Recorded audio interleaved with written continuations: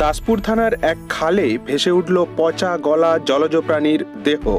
আজ সোমবার নয় মার্চ সকালে খুকুরদহ গ্রাম পঞ্চায়েত অফিস সংলগ্ন দুর্বাচটি খালের উত্তর পাড়ে ওই প্রাণীটির পচা গলা দেহ ভেসে উঠলে সকাল থেকেই উৎসুক মানুষের ভিড় জমে। খবর যায় বন দপ্তরে। ঘটনাস্থলে পৌঁছায় দাসপুর পুলিশ। তবে প্রাণীটির পচা গলা দেহ দেখে অনুমান করার উপায় নাই, প্রাণীটি আসলে কি? আমরা যোগাযোগ করি পশ্চিম মেদিনীপুর জেলার সহকারী মৎস্য অধিকর্তা পিয়াল সর্দারের সাথে।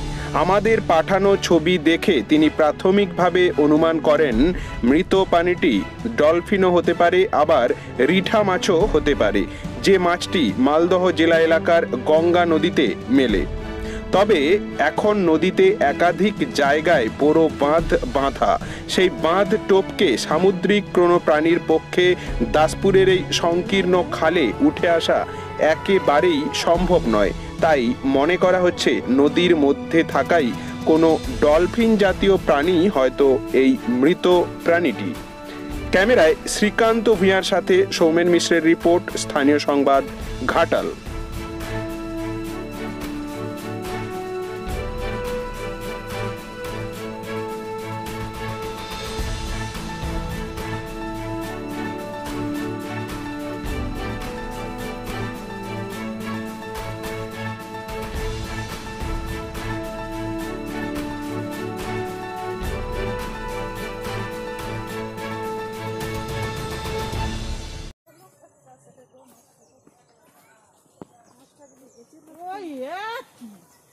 ডলফিন না।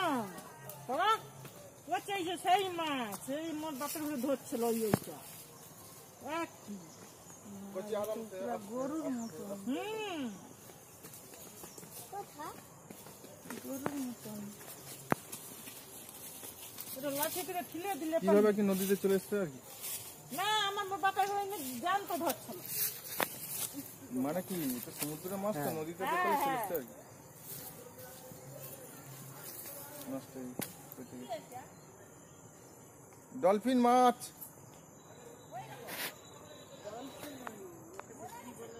ডলফিন ডালফিন তিমি না মাছের মতন ডলফিন ডালফিন বাবু চলো বাবু চলো ঠাকুমা দেখে ঠাকুমা দেখে হু করে রং মাখা রং মাখা